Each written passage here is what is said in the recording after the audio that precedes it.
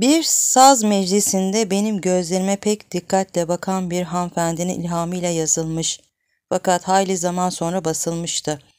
Bu şiiri Amerikalı May Fowell Hoisington namında bir genç şair kadın nazmen tercüme etmiş ve kadın şairlerin yurdu olan Christodora Hoysta inşaat etmiş ve çok alkışlanmıştı.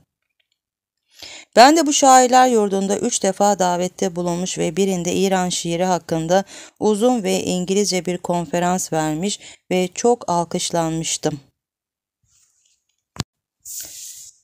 Ruhumda gizli bir emel mi arar? Gözlerime bakıp dalan gözlerin. Aklıma gelmedik bilmece sorar. Beni hülyalara salan gözlerin. Nigahın gönlüme ey peri peyker.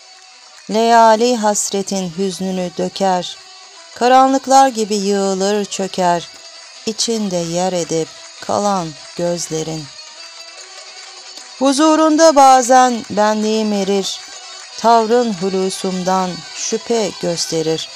Bazen de ne olmaz ümitler verir. Sabrı kararımı alan gözlerin.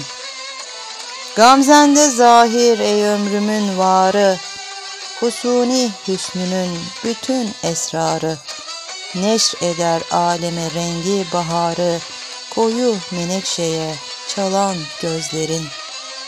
Sihirdir şüphesiz bütün bu şeyler. Bakışın zihnimi perişan eyler. Bana aşk elinden efsane söyler.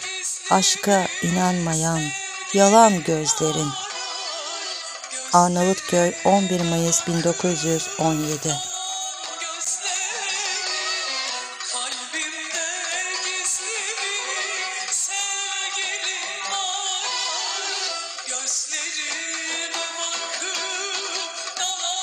Gözlerim.